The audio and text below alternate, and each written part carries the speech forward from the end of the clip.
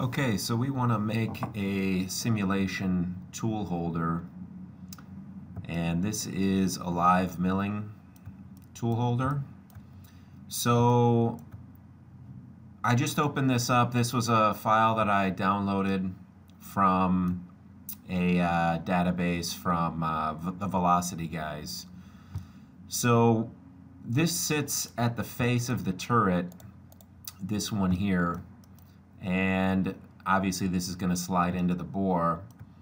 So the way that these are supposed to be aligned or oriented is that uh, this face should be normal to the turret and that direction is defined by this blue arrow here.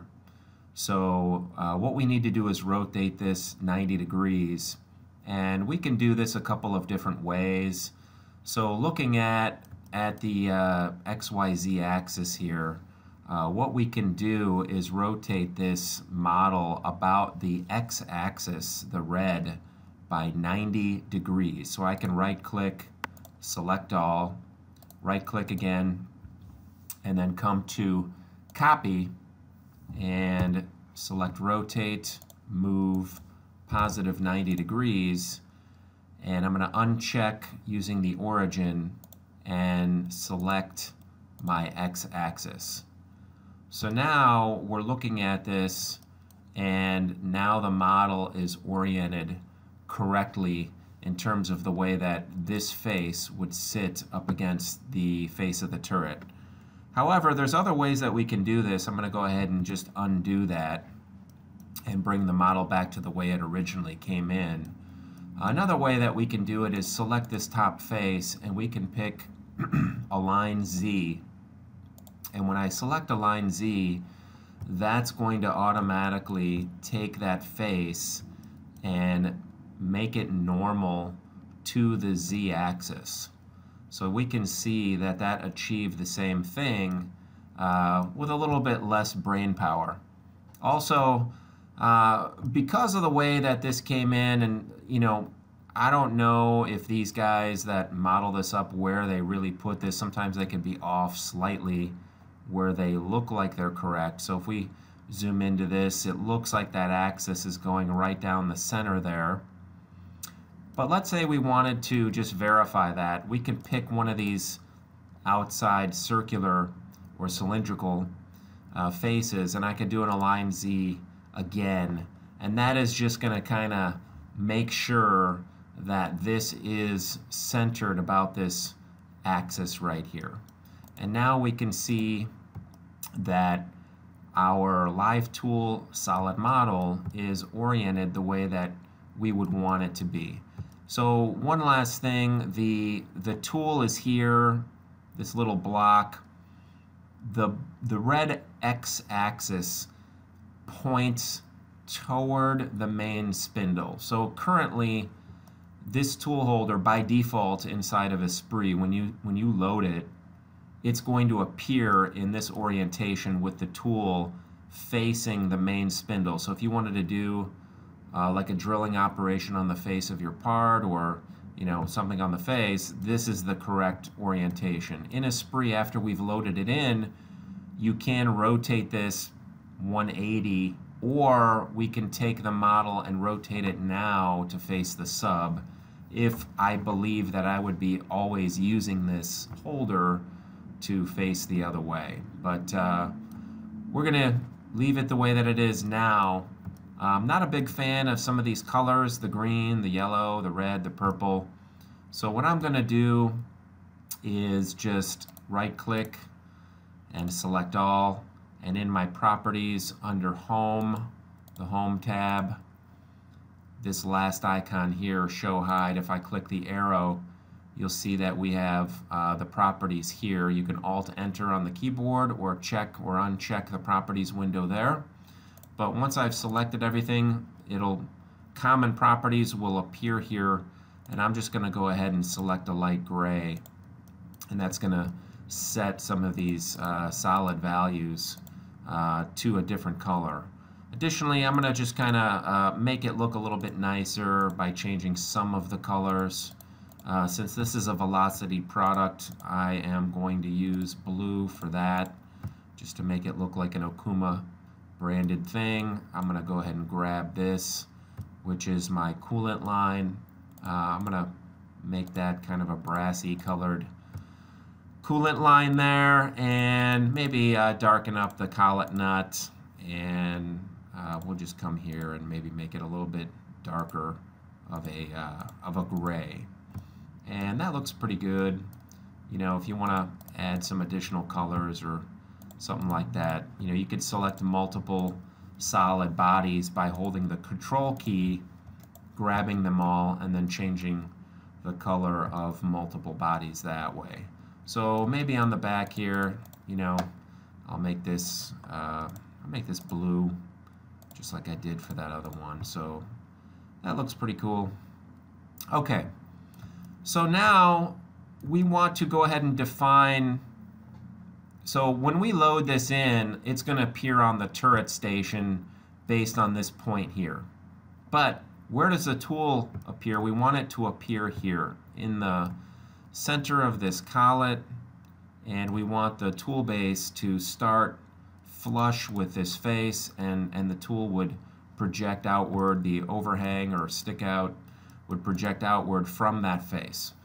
So to do this, uh, we could do it a couple of different ways. Um, uh, we could come here and say work plane from geometry and I can select this face and we can see that we get a work plane there and what we really want is the blue to be pointing into the holder so we could come here and say rotate, uh, I'm going to say down here, rotate about U, just 180, 0, 0, and it goes ahead and flips that. Um, we could do this other ways too. I'm just going to come back here, double click on XYZ, bring my UVW back up here and show you a different method. Um, so I want the blue to be pointed this way. So what I could do is, is use the rotate now and just rotate about the green and say 0 minus 90, 0. And then I can translate using the snap mode because my orientation is correct. Now I just need to position it at the center and even with that face. So you could see that I've got a little circle next to my cursor and then the green highlight is on that face. When I digitize it puts my UVW axis right there. So you could use there's a couple other methods to use as well. Those are the two more common ones that I find myself using. Over here we're gonna go ahead and define this as a tool spindle axis. So we'll make a new work plane here call it TSA tool spindle axis underscore one. Say enter. And now that is saved uh, so we're ready to go. This looks good. One thing I might want to do because, you know, just to save on, on file space and computer crunching. So some of this stuff we don't need. I mean, you know, there's no reason to have a bunch of extra solid models in these holders that are internal components and stuff. So we can go in and select some of this stuff and I see that this model, you know, highlighting it, I don't see anything where it would be in the simulation. So I'm going to hit delete. Then I'll zoom in a little bit more. I'll grab this guy. Obviously that one looks like it could be deleted. All this stuff is going to be up in the turret. So I don't need to, you know, see any of that stuff or have it as part of the, uh, the model itself. So looks like a few extra solids there that I was able to get rid of. And at this point, um, we're probably pretty good. It might save a, a couple hundred K. But when you have 12 or 20 of these loaded on your turret, you know, that could add up to, you know, 10 megabytes or something like that, depending on, on how much uh, uh, complexity is in the solid models.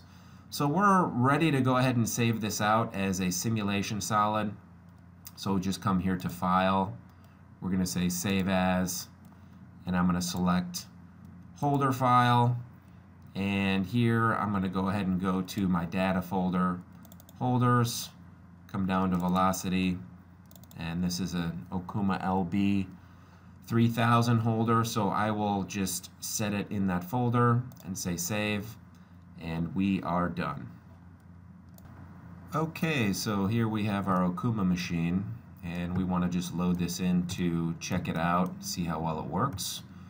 So what I'm going to do is just, uh, you know, you could drag this, this slide bar up and down to very quickly turn on or off different machine components. So, or you can, you can actually turn them into nice clear, um, you know, if you want to have them there but kind of have them as a little outline but you can still see through them, uh, you can do it this way as well. Uh, additionally, you can just hit the button.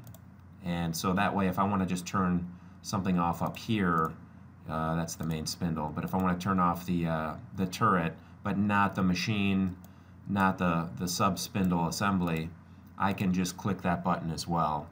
But uh, let's just go with this right now. So we've got an open spot here at station 9 I'm going to right click, say add adaptive item. We're going to come to the speeder that we just made and load that up. So when it comes in, it uh, appears on the station.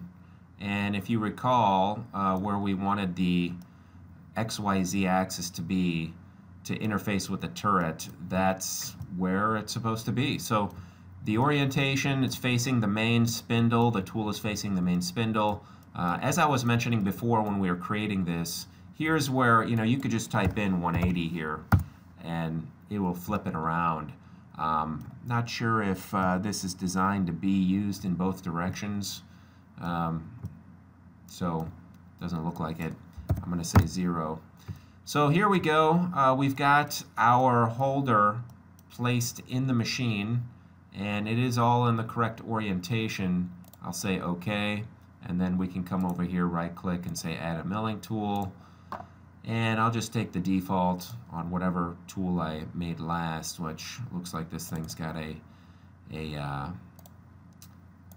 shank diameter a little bit larger than the tool. We'll set that back to the tool diameter.